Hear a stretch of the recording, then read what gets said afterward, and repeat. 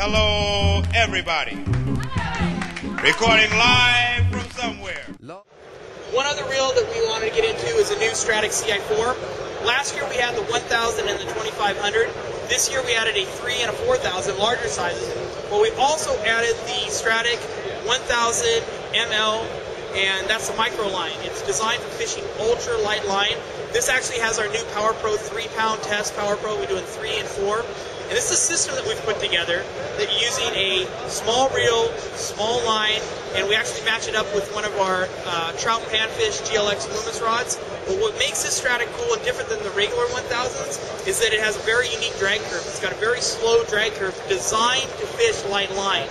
Um, so as you move the spool knob a half a turn, it barely goes up, so it allows you to really fine tune it. Um, and it has an actual bigger arbor, so it holds exactly 150 yards of three pound test Power Pro. But great reel, 199 price point. Um, you're gonna love it.